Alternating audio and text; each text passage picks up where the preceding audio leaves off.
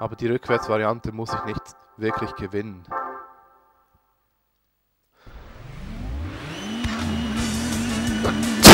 Ah, Mann. Tut mir leid.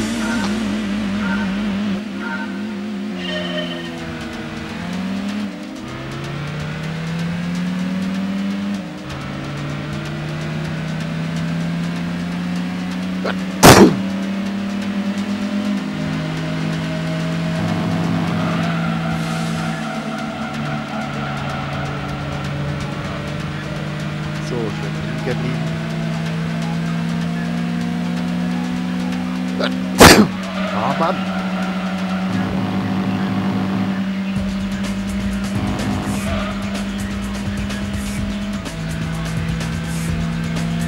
Aber erst 2000 raus, davon war es jetzt kein Morgen.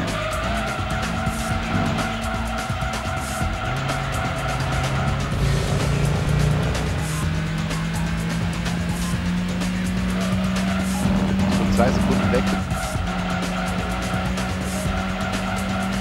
Richtig überlegen, das Fahrzeug.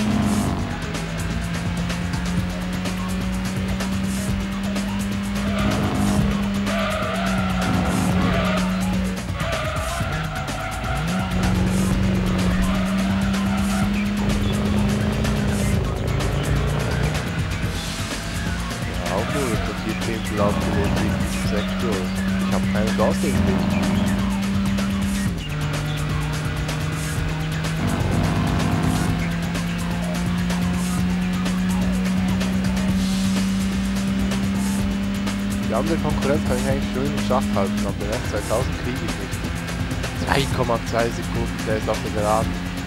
Monster.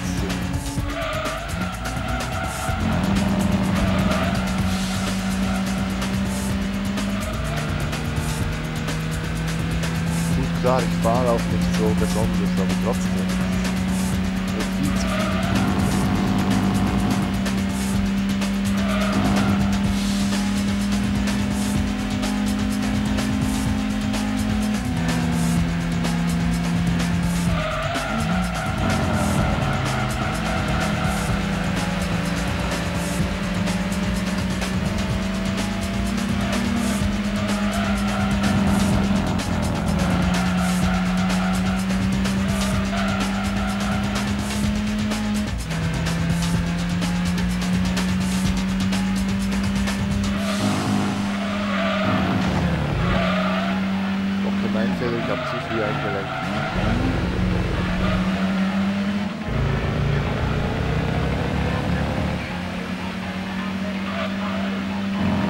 Ja, zwar habe ich in der Runde aufgeholt, aber ich bräuchte da noch ein paar weitere Runden.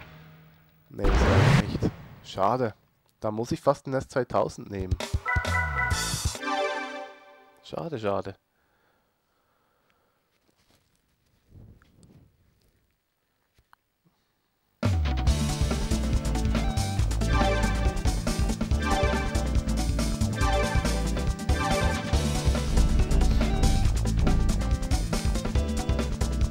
Schaut sich das auch an. Beschleunigung und Handlings bei dem voll. Also nochmal. Dann schauen wir mal, ob der wirklich so überlegen ist. Was habe ich für Konkurrenz? Also ein 56 BMW, Audi, Mercedes, Toyota. Ja gut, das ist alles eigentlich machbar. Muss machbar sein.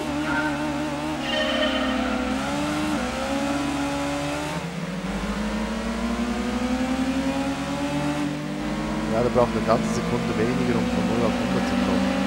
Das ist ein riesiger Unterschied.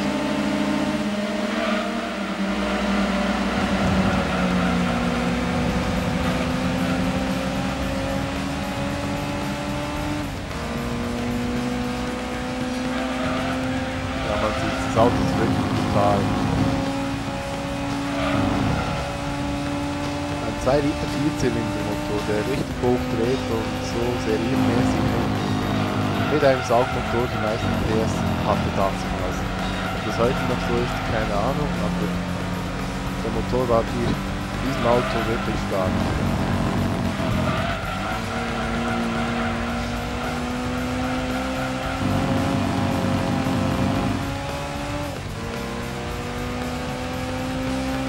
das an, ich habe so eine riesen Vorsprung. Das Auto macht wirklich jetzt was aus.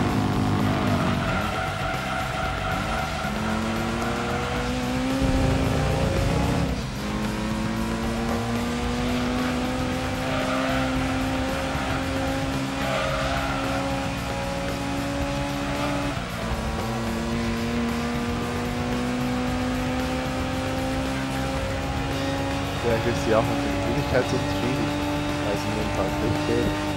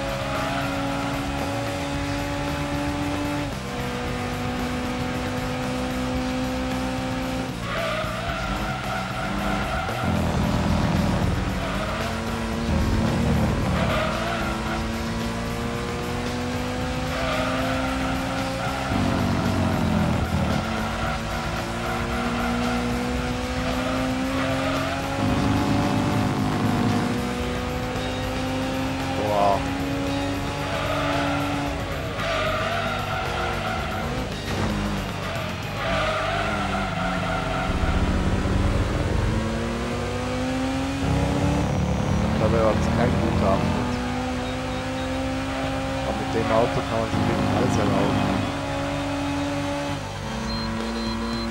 Der ist so gerade zur Grenze zur Gruppe A.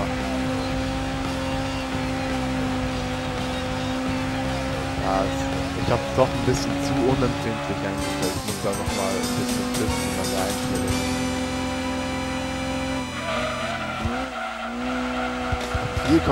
Sekunden, bevor ich so schlecht gefahren bin.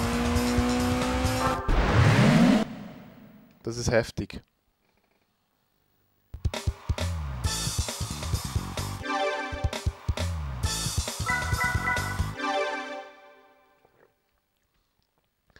So, ich muss mal kurz was trinken, Entschuldigung.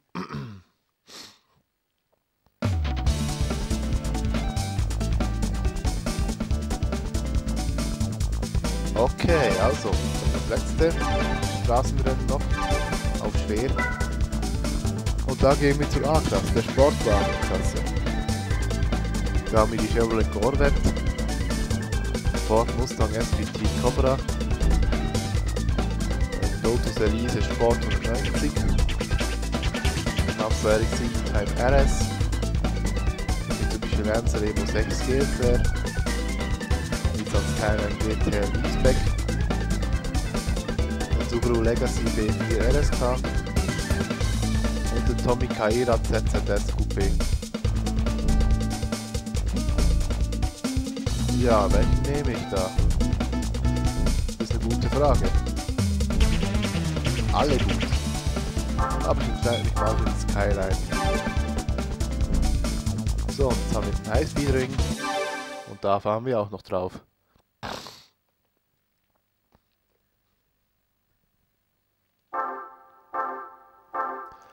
Lancer, Mazda, Mustang, Legacy, Lotus, Skyline. Ja, machbare Konkurrenz auf jeden Fall.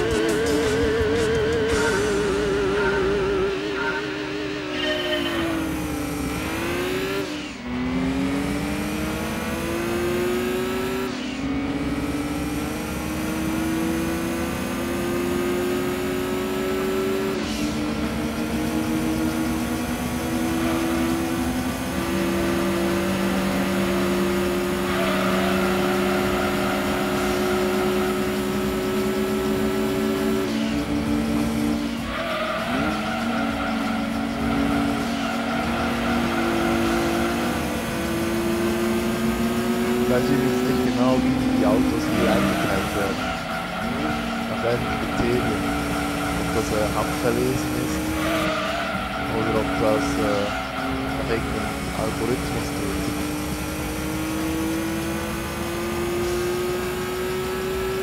Aber im Grunde genommen sind die Fahrzeuge eigentlich schon ziemlich gut eingeteilt, wobei es natürlich äh, gute und schwache gibt.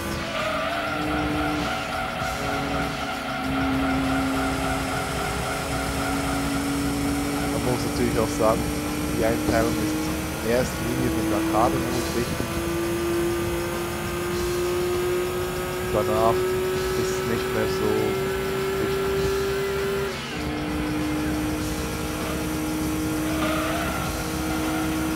Da muss man einfach dann äh, gleichartige finden. GT-Modus. Das geht glaube ich ein bisschen einfacher.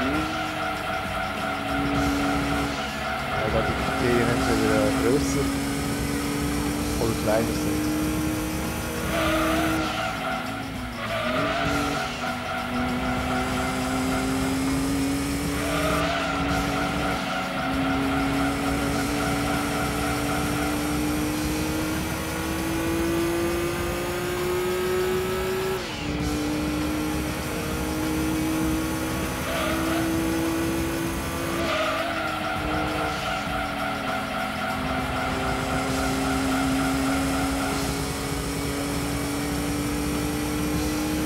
So, das jetzt ein einfaches Rennen.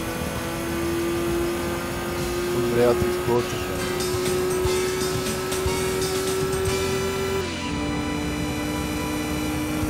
Vor dem RX-7, dem Lancet, dem Legacy, Mustang und Lotus.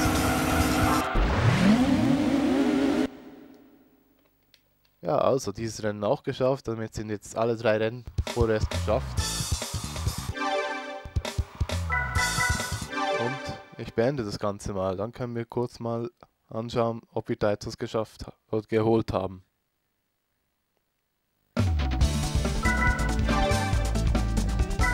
Ja, wie, wie ihr seht, alle drei jetzt geschafft. Abstand natürlich immer noch nicht. Aber wir haben die- S-Klasse freigeschaltet. Supersportwagenklasse. Da gibt es einen Renault Clio Sport V6 24V. Und da kann ich noch nichts mit anfangen. Eine weitere Neuerung bei Campus mit 2 gegenüber seinem Vorgänger sind Rallye-Events. Da haben wir auch eine Rallye-Stage zur Auswahl und verschiedenste Rallye-Fahrzeuge. Toyota Corolla Rally Car zum Beispiel, dann der Mitsubishi Lancer Evo 5, den Subaru Impreza 99 Rally Car, Fo- Focus Rally Car, Peugeot 206 Rally Car, Toyota Celica GT4 Rally Car, dann noch Nissan Pulsar GTIR, ein Mazda Familia, was eigentlich Mazda 323 ist, dann einen älteren Subaru Impreza, kennen wir noch vom Gran Turismo 5, äh, Gran Turismo 1, sorry. Die 5 ist mir Sinn gekommen, weil das Auto 5 Gänge hat. Oder zumindest äh, Gran Turismo als normales Fahrzeug 5 Gänge hatte, weil der 6. Gang ja genau gleich wie der 5. eingestellt ist.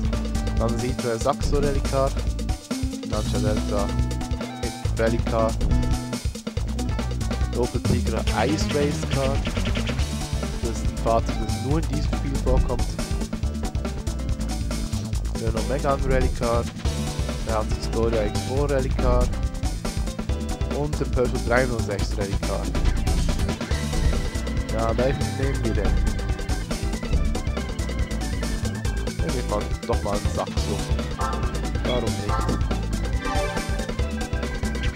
Und wir haben die Tahiti Dirt Route 3 zur Verfügung. Werden wir gleich mal ausprobieren. Wobei man hier sagen muss, dass natürlich nur, äh, das sind Zeitrennen hier. Das ist nur zum Üben.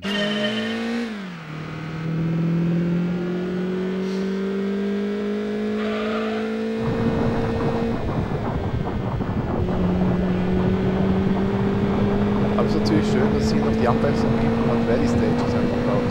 Eingebaut hat. Die auch äh,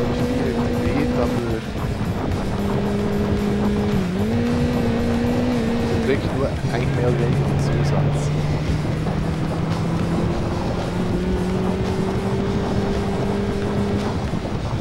Echt jedes Auto ist übrigens für die äh, Rally Stages gemacht. Man kann nicht mit jedem Fahrzeug hier an Rallys teilnehmen.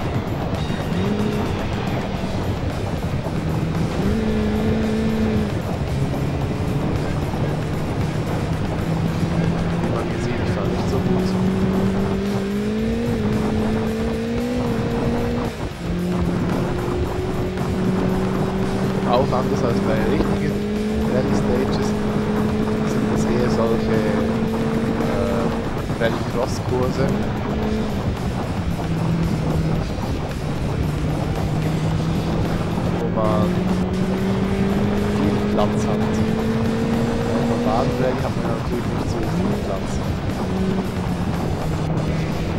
So, ich kann bei diesem Fahrzeug die Handbremse mit, passiert überhaupt nichts. Ist nur bei vierradbetriebenen Fahrzeugen offenbar dem Fahrzeug wirklich äh, ganz normal um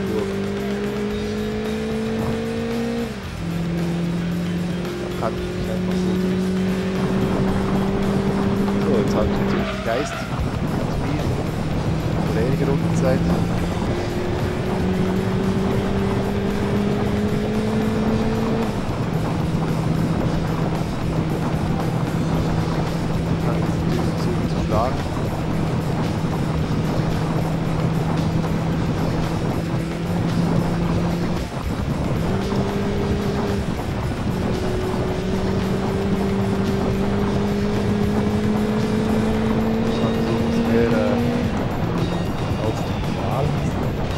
Art zu fahren.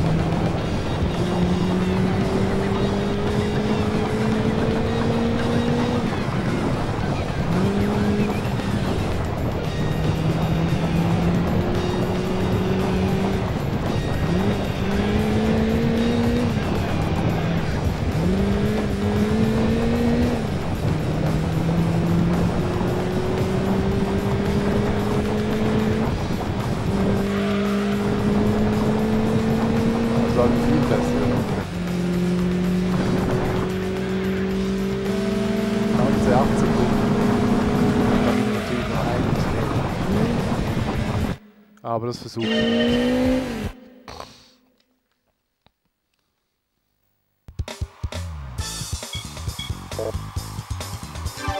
So, wie man hier sieht, habe ich jetzt eine Bestzeit gefahren.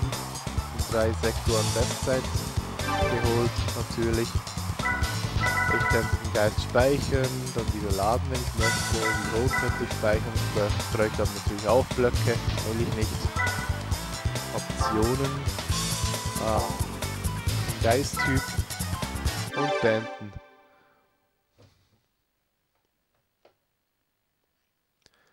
Ja, soweit, so gut.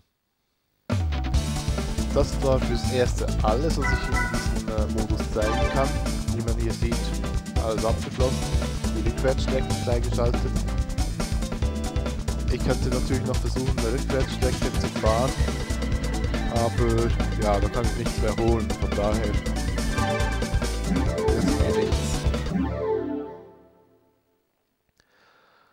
Daher bleibt mir nur noch übrig, dass ich speichere und dann zum richtigen Spiel wechsle.